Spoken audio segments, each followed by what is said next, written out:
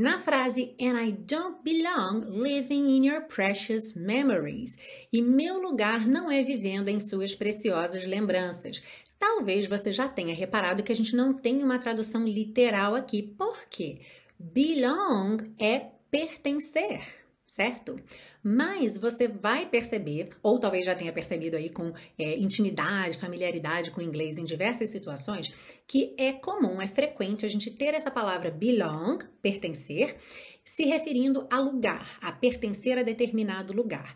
E aí, dependendo da construção em inglês, às vezes soa um pouco estranho você manter essa tradução literal, como aqui no caso. E eu não pertenço vivendo em suas memórias preciosas, e eu não pertenço a viver, soa estranho. Então é bem comum fazer essa adaptação. Sempre que o verbo to belong, pertencer, estiver relacionado a lugar, se você perceber que a tradução literal vai ficar muito estranha, você pode usar essa alternativa de dizer meu lugar é ou meu lugar não é, dependendo se é I belong ou I don't belong, dentro daquela frase, ok?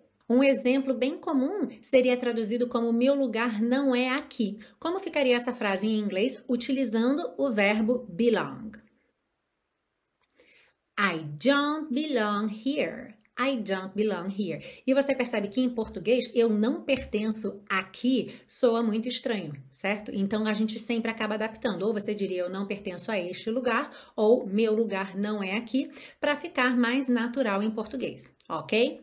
Saindo desse contexto de lugar, de pertencimento a um lugar, vamos falar então de um objeto, por exemplo, que pertence a alguém. Situação também bem comum do dia a dia. Como você diria, aquele colar pertenceu à minha avó. Aquele colar pertenceu à minha avó. That necklace belonged to my grandmother. That necklace belonged to my grandmother. Ok?